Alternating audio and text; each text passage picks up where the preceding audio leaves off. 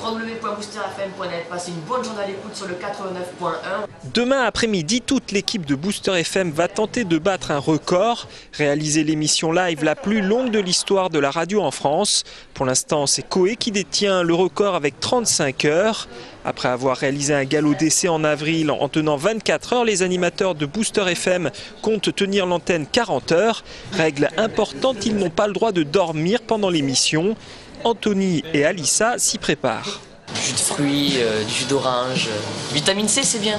Ce soir, je me repose. De même pareil.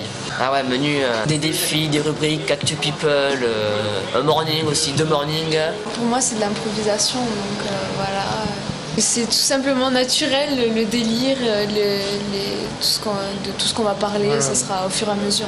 Anthony, qui a contacté le Guinness Book des records un peu tard, espère que l'homologation pourra bien être réalisée. Pour cela, des preuves de l'exploit seront enregistrées. Ouais, ça va être enregistré par la, la, la Blog TV de, de Booster FM, euh, le book est free, donc à la télévision, même sur internet. Et puis je pense qu'on va trouver une solution euh, d'enregistrer heure par heure, euh, comme on avait fait pour les 24 heures. euh, donc voilà. On se donne rendez-vous euh, ben, samedi à partir de 17h pour les 40 heures de live non-stop. Et l'émission doit normalement se terminer lundi à 9h du matin. La fréquence de Booster FM, c'est le 89.1.